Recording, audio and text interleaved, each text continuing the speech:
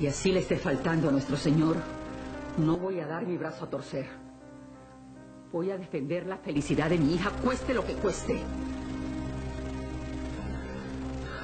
Bueno, en todo caso, te voy a pedir que le hagas llegar esta carta a Soledad.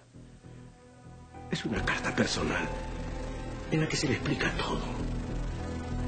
Por favor. Tú sabes que si no fuera de veras importante, no insistiría.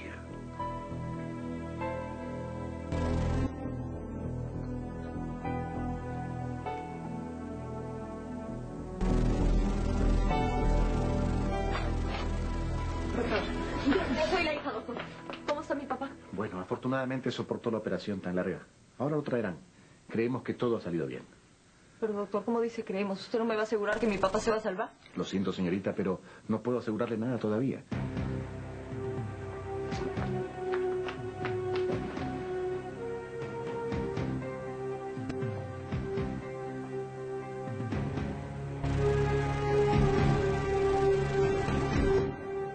Esa señora nunca, nunca me tuvo precio, padre. Por eso es que no me quedó más remedio que utilizar esa vía para comunicarme con Soledad. ¿Y si ella llegase a leer esa carta? Alma no hará tal cosa. De la que no estoy seguro es que le envíe. Confiemos en Dios que lo haga. Ojalá, ojalá que así sea. Alma es muy testaruda, pero muy creyente. No creo que vaya en contra de un pedido apelando a su sensibilidad cristiana. Mire, padre, yo, yo necesito ver a Soledad. Me estoy volviendo loco en este infierno. Necesito hablar con ella. Mire, ya, ya han pasado muchos meses y todavía yo no puedo... No, no- no sé nada de ella. Tienes que aclarar todo. No puedes seguir parando por un crimen que no cometiste. Estás cometiendo una locura. Le dije, padre, que es una locura por, por amor. Yo me rehúso a creer que Soledad fuera capaz de hacer eso. Tuvo que haber alguien más. Entiéndalo de una vez. No hay nadie más. Fue Soledad. De cualquier modo, eso hay que esclarecerlo. Mire, padre, yo, yo cuando la encuentre, yo, yo me arreglo con ella. Ahora le voy a pedir, por favor, que no haga nada más. Y cuando la encontremos, ya, ya veremos. Está bien, hijo, está bien. Ahora solo nos queda encomendarnos al Señor. Estamos en sus manos. Y en las manos de Alma.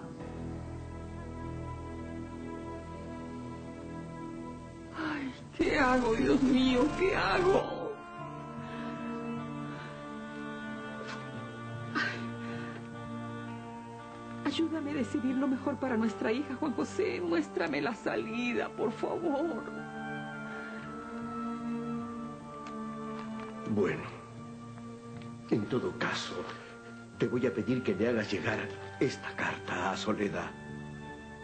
Es una carta personal en la que se le explica todo. Dios me perdone, pero no puedo permitirlo. No puedo dejar que Soledad se entere de lo ocurrido. Y menos ahora, no puedo. No puedo.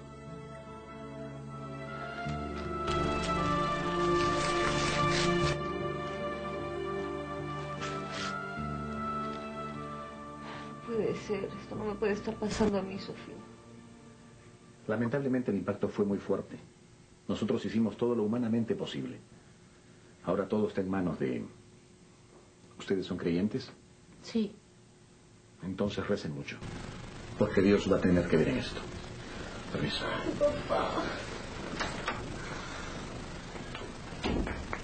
Tú ni siquiera te acerques, maldita. Si realmente existiera Dios, la que se estaría muriendo eres tú, no mi papá. Rafaela, yo... Ya cayó de soledad. Cállate, pero solamente explicarte.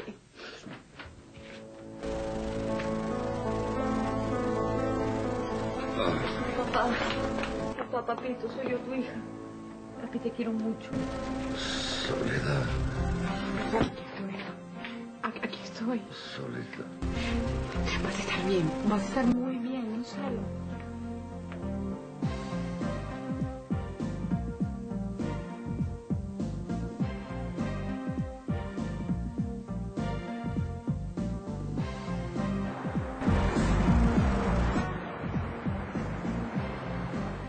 era hora que viniera por sus análisis. Ya han pasado cuatro días sin nada. Ni una noticia suya. Lo siento, Diego. Es que al regreso de mi viaje tuve muchas cosas que hacer y bueno... Pero igual me hubiera gustado saber de Soledad, ¿no? Y está bien, muy bien. Te manda muchos saludos. Pero de vez en cuando me gustaría hablar con ella, saber cómo le va. Bueno, tú sabes cómo es ella. No quiere tener contacto con nadie. Está tratando de rehacer su vida ya. Es mejor dejarla tranquila. Bueno, ¿cómo están los exámenes que me hiciste? ¿Estoy mejor? Justo aquí tengo los resultados. La verdad es que, que las cosas no han salido como esperaba. ¿Usted está siguiendo el tratamiento al pie de la letra? Al pie de la letra. Entonces no entiendo. No entiendo. En vez de mejorar como yo suponía, el cuadro parece estar complicándose. Y lo único que explicaría una situación así es que usted estuviera pasando por una situación difícil, algo que la tenga angustiada. No. La verdad es que no sé qué puede hacer. Quizás el viaje a Miami, la sorpresa de encontrarse con Soledad. La verdad es que fue un impacto muy grande verla después de tanto tiempo y saber... Doña, doña, confía en mí. Soledad tuvo a su hija, dio a luz por fin. Yo le había jurado a Soledad no hablar, pero como tú sabías que... Tuvo una niña, una niña muy hermosa y se llama Valentina. ¿Y ella cómo está? Ay, está muy bien, bastante bien. Antonia se quedó allá para ayudarla, pero yo siento como una opresión en el pecho. Imagínate la familia separada, dos de mis hijas allá tan lejos. Y Soledad criando una hija sin un esposo, sin un hogar como el que ella se merece. Sí, lo entiendo. Yo lo único que deseo es que encuentre un hombre bueno que la quiera, que no le importe su pasado y que esté dispuesto a casarse y darle la protección que ella y mi nieta necesitan. Ah, yo siempre soñé que ustedes dos. Lo sé, doña, lo sé. Yo deseo que Soledad se olvide de ese canalla que tanto daño le ha hecho. Solo deseo que lo olvide y que rehaga su vida junto a otro hombre que sí pueda hacerla feliz.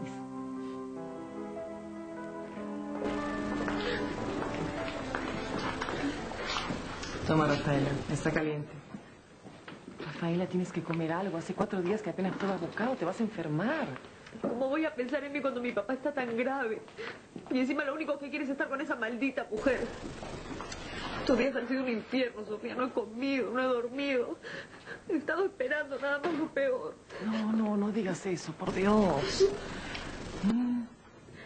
Sí, es verdad, Sofía, mi papá se va a morir. No, no, no, no. Mi no. papá se me está muriendo. No, no, no, Rafaela, tu padre no puede morirse, eso no va a pasar. Tienes que ser fuerte, Rafaela. Tienes que pensar que Gonzalo va a vivir. Él tiene que vivir. Sí, tienes razón, él tiene que vivir porque no me puede dejar sola. Claro que no. Además, no sería justo. Mira que pasarle esto, ni siquiera él venía manejando el auto. Soledad tiene la culpa de todo